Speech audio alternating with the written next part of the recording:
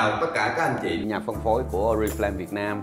Hôm nay Hải xuất hiện chia sẻ với các anh chị về một cái cảm nhận của Hải à, đã được tham dự cái hội nghị Diamond Conference của Oriflame vào năm 2014 tổ chức ở Cape Town, Nam Phi. À, các anh chị biết đó là một cái lần mà Hải cảm thấy rất là ấn tượng, rất là ấn tượng luôn trên tất cả những quốc gia mà Hải đã đi qua thì các anh chị biết là đến nay Hải đã đi được à, 34 quốc gia trên toàn thế giới cùng với Oriflame đó là một điều rất rất là thú vị khi mà Hải làm việc với Oriflame nhưng cái mà đất nước mà Hải ấn tượng nhất đó vẫn là Nam Phi và Cape Town. Hải có nói rằng là nếu mà có dịp Hải sẽ được quay trở lại với Cape Town một lần nữa. Nhưng mà may mắn là lần đó Hải có dẫn con của Hải đi theo, rồi à, gia đình của Hải nữa.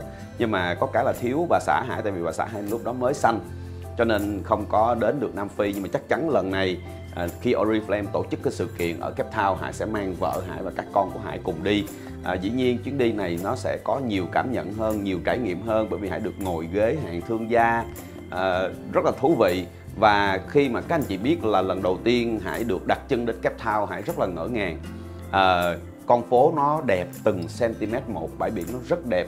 À, nó nó làm cho Hải rất là yêu cái đất nước Nam Phi. À, mỗi một à, điểm đến của Hải là một cái ấn tượng. Hải được đến thăm à, nhà tù à, nơi mà giam giữ à, Mandela.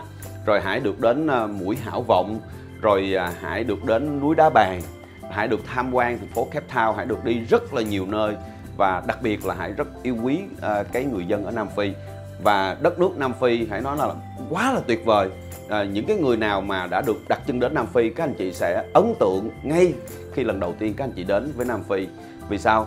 Vì đất nước đó à, đẹp từ quan cảnh con người và văn hóa. Mọi thứ đều rất là tuyệt vời. Đó là cái mà Hải cảm nhận được. À, có những cái à, giá trị văn hóa những cái giá trị lịch sử mà Hải được chứng kiến ở Nam Phi à, làm cho Hải cảm thấy rất là ấn tượng. Và cái điều mà thú vị nhất là được ờ, đi tàu ra ngoài biển ngắm hoàng hôn. Đó rồi được nhìn thấy những con cá voi thật luôn. Nó rất là to. Đó, rồi nhìn thấy được những con hải cẩu nhìn thấy được những chú cá heo.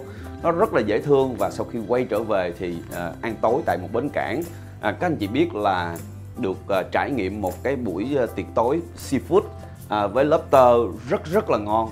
À, hãy nghĩ rằng là các anh chị không cần phải mang bất cứ cái thứ gì mì gói là gì đó ở đất nước Nam Phi các anh chị yên tâm đi tại vì mọi thứ giá đều rất rẻ rất rẻ luôn. À, hãy có hỏi năm đó hãy hỏi à, à, người dân ở Nam Phi á, là một à, lít xăng là bao nhiêu tiền? Họ nói khoảng 3.000 Việt Nam đồng á. Hãy tính ra khoảng 3.000 Việt Nam đồng. Trong khi lúc đó là à, xăng ở Việt Nam mình là 15.000 hãy nói wow sao rẻ như vậy? Thì họ mới chia sẻ họ nói rằng là à, ở Nam Phi á, nếu mà ai mà thu nhập mà dưới à, 2.000 đô đó thì chính phủ phải tài trợ cái số tiền đó để cho họ đảm bảo đủ cái số tiền 2.000 đô đó. Đó là cái thu nhập bình quân của người dân ở Nam Phi. Quá là tuyệt vời. Và một cái điều mà Hải ấn tượng nhất trong một cái đoạn mà đi um, đi xem kim cương đó thì tại đất nước Nam Phi là nổi tiếng về kim cương thì Hải mới đến à, cái chỗ mà bán à, kim cương rất là nhiều thì ờ, lúc đó đi có chị Trâm nữa rất là vui nha. Thì ờ, trên taxi mới hỏi cái anh taxi là hình như Mandela vừa mới qua đời phải không? Tại vì lúc mà đoàn Việt Nam qua đến Nam Phi là Mandela mới qua đời khoảng nửa tháng. Thì Hải mới hỏi cái anh taxi như vậy thì anh taxi anh mới nói như thế này đâu có Mandela vẫn chưa chết. À, bởi vì Mandela vẫn luôn sống trong lòng của mỗi người dân Nam Phi.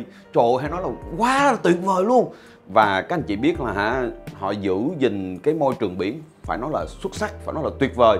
Họ không cho mình đụng vào những cái sinh vật sống ở dưới biển nha mà ở dưới đó là hả ốc rồi sò điệp này kia. Nó là nhiều thiệt là nhiều luôn. Đó, mà không có ai bắt không có ai khai thác gì hết. Họ gìn giữ cái môi trường quá là tuyệt vời.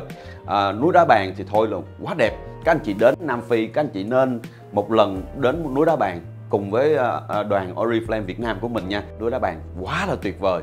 Rồi các anh chị hãy đến mũi Hảo Vọng. Các anh chị sẽ biết được lịch sử mũi Hảo Vọng như thế nào. Thì sau cái chuyến đi đó về đó thì cái người bạn thân của Hải à, làm bên đài HTV đã lấy cái nguồn cảm hứng đó dùng những cái clip đó để phát lên trên đài HTV7 một cái chuyến đi Diamond Conference cùng với Oriflame được trải nghiệm ở Cape Town thật sự với Hải và đoàn Việt Nam của mình, quá ấn tượng. Các anh chị hãy một lần trải nghiệm và hãy phấn đấu để đạt được cái chức danh Diamond để trải nghiệm cùng với Oriflame. Các anh chị đạt Diamond, các anh chị sẽ được nhận hai vé để dẫn theo người thân của mình, chồng của mình, vợ của mình hoặc ba mẹ của mình hoặc là con cái của mình. Quá là tuyệt vời.